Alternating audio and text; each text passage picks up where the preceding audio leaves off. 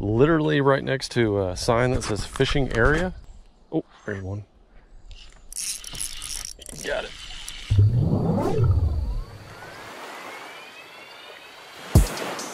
Oh, there's a fish right there on a bed. All right, y'all, you need to take a look at this. This is what I was talking about the last video.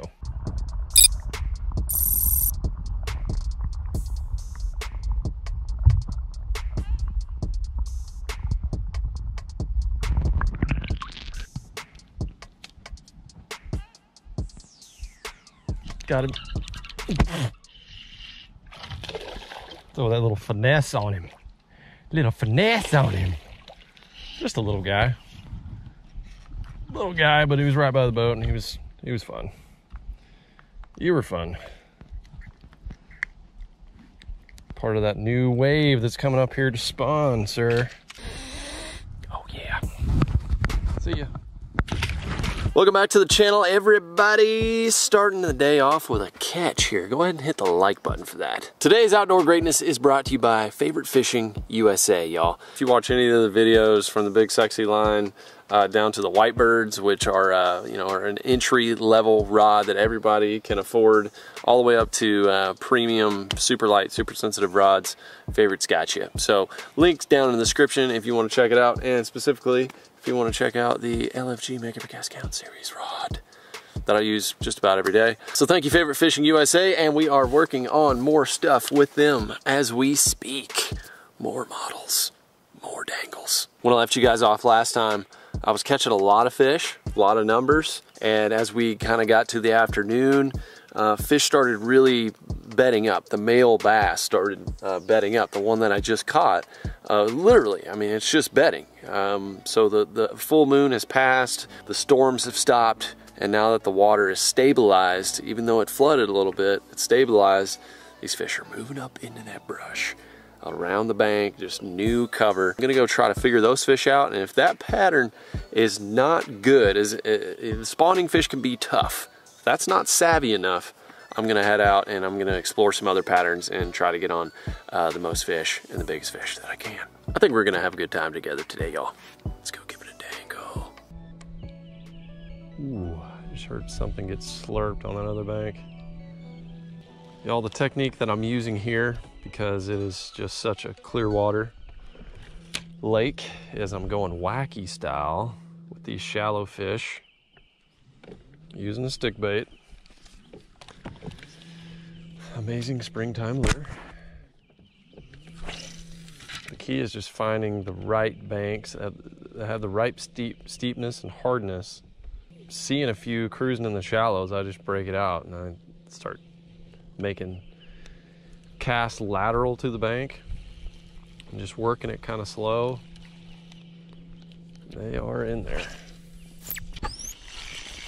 Another one by that isolated tree.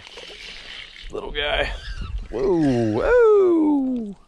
Where you going there, sir? These suckers are fighting hard. There we go, okay. A little bit bigger than the last one. See ya. Isolated tree right there. He just picked it up. There's one. Oh. I was looking at one right under this tree. Call me confident, but I think there's going to be one on this point. Nice hard point that juts out.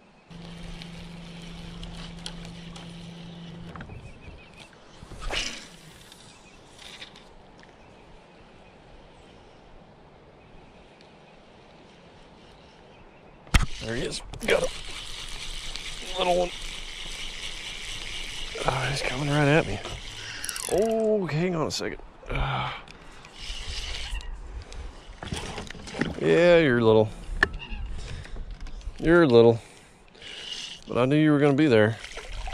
Ah, and I bet there is another one by this isolated tree again. It was about time to retie. Okay, let's cover a little bit more water here.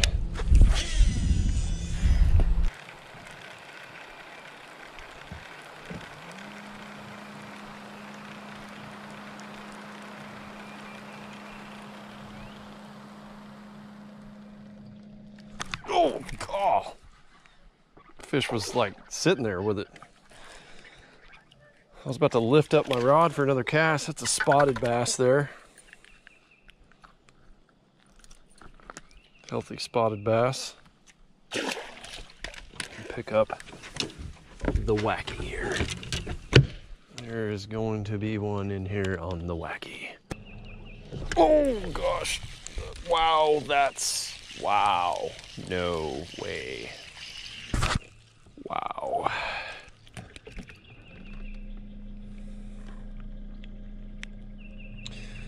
That's a little one there. That's a that's a tiny one. Big, small, I sniff them all though. A couple of little fish right there. Nothing Instagram worthy, I guess you could say. There's a little afternoon wind picking up, or at least where I am right now. I'm kind of torn if I should keep going to pocket, back to pockets, or if I should try something more main lake. I really have not explored a lot of this lake. One more pocket up here looks pretty good. It's got an actual creek running in it, like that one. That usually will mean there's a, a deeper channel, a deeper cut. Uh, when I get into the flat areas, no, that's a no-go. But if there's a steeper bank, there's protection, good hard bottom, they're doing it.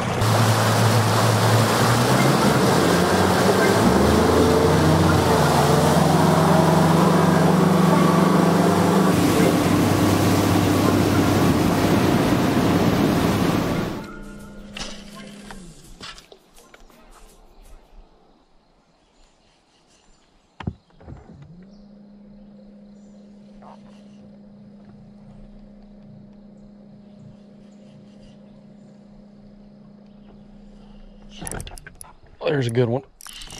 There's a good one. Oh, God, broke me off.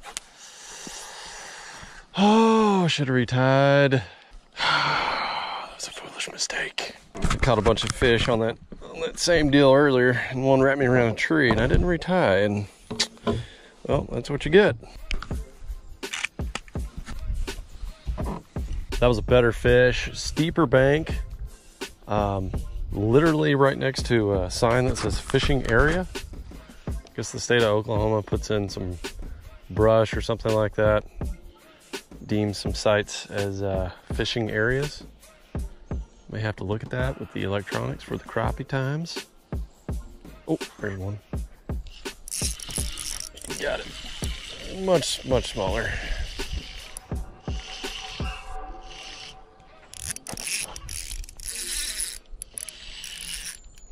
Get that drag adjusted just right. Oh, it's a spotted bass. I think. Yep, it's a spotted bass. Hey there, filler.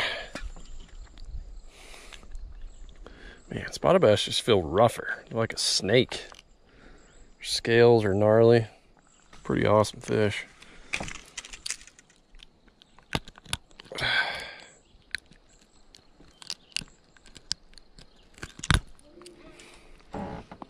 See you, dude. Beautiful. Wow, look at this water flowing in. Beautiful, man. Beautiful. It's majestic. Dragonflies running around. Oh my gosh, I'm seeing a lot of bass moving right now. Oh my gosh.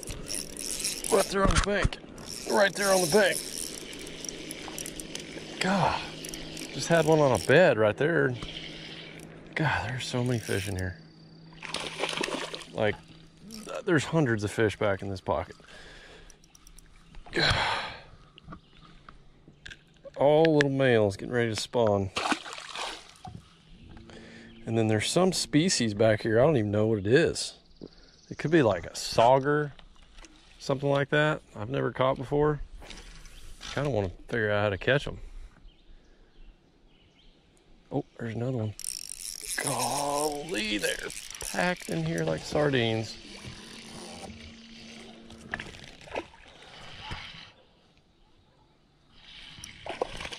Yep, y'all are just sardines. Oh, daggone, I lost my lure. Whoa. Look at you, you true largemouth. That is a largemouth bass, northern, northern largemouth. Beautiful.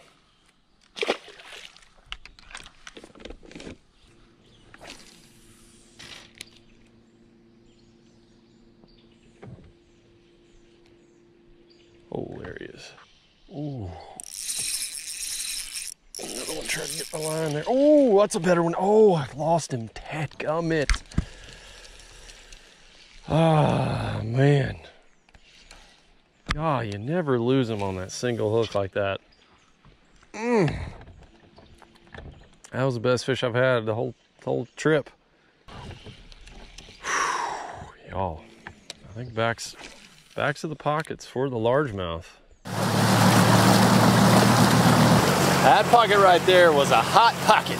Hashtag hot pocket. I lost two good ones in there. So that makes me think that is the right thing to do.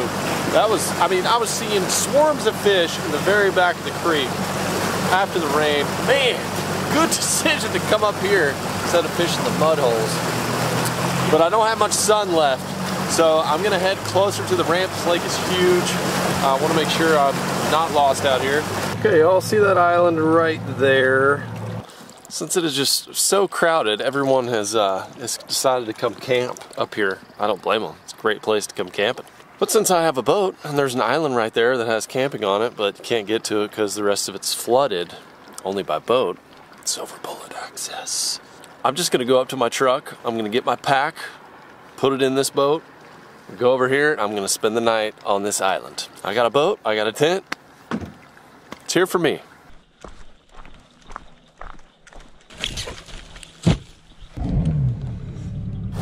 Got our pack, got our firewood. It's looking like it's gonna be a mountain house meal, but that's that's okay. I need to get used to those. Um, that's what I'm gonna be eating on the mountain in New Zealand for, um, for quite a long time, like eight or nine days. There's home for tonight.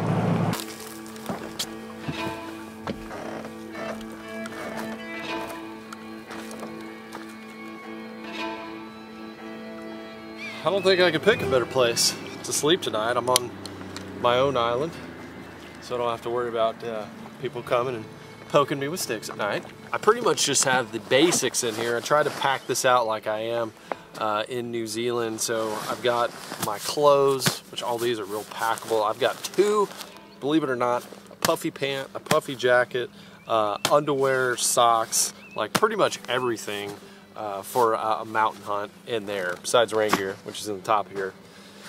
And then I've got my tent. The tent is a is a two man. I got a two man because well, I'm going with another guy, but not say we're gonna sleep together. I'm just saying because I got a lot of stuff. One thing I did forget, and I'm just realizing that, is my sleeping pad. Now this is gonna suck. I had this big, luxurious sleeping pad. It fit, like the whole thing fit inside of here. Filled up the whole, it was, uh, I'm gonna have to fashion myself some sort of sleeping pad. I've got rocks right here, uh, which don't really feel too good on the old back. Anyways, we're gonna get this tent up and then uh, we're just gonna prepare our minds and bodies to sleep on the rocks. Straight up rock is just, is just a no-go. A little softer, a little muddy, but it's gonna have to do. Also, there's uh, someone, someone's random sock there.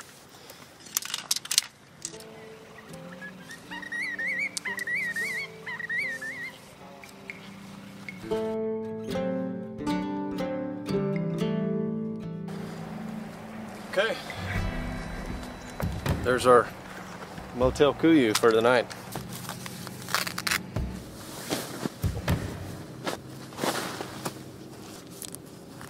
So, our cooking system for tonight is going to be a portable burner, a little portable propane Coleman. This is a portable camping stove.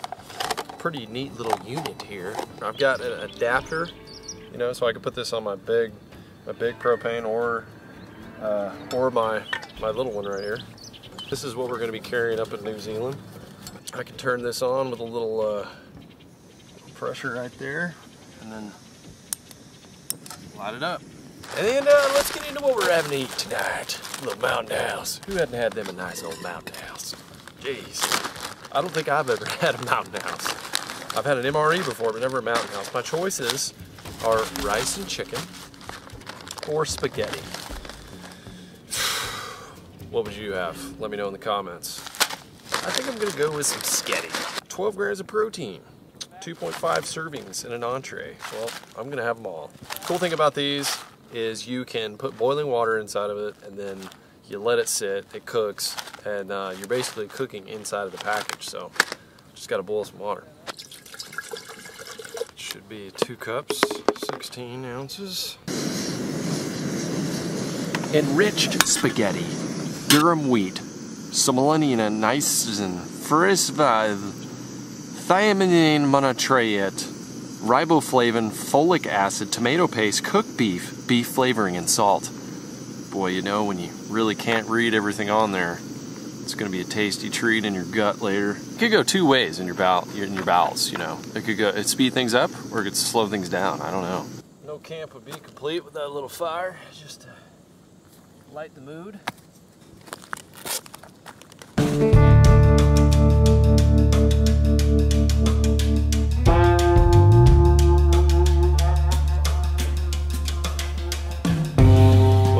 Burning my fingers off, going through some waterproof matches, regular matches, and then some uh, fire starters, I finally got a fire started.